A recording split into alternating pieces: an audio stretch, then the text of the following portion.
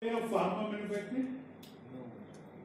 Pharma industry is known as uh, various sectors which all attribution manu- capability of manufacturing. So we have total uh, 300 plus acre of land, more than 8,000 students and 1,000 employees.